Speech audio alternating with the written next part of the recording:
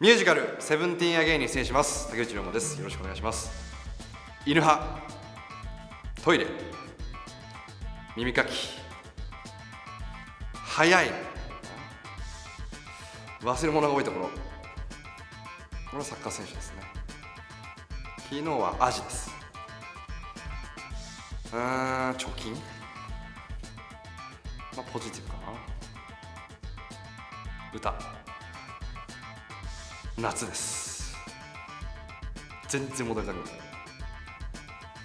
これで終わりです。ありがとうございました、えー、竹内龍馬初舞台そして初ミュージカルです。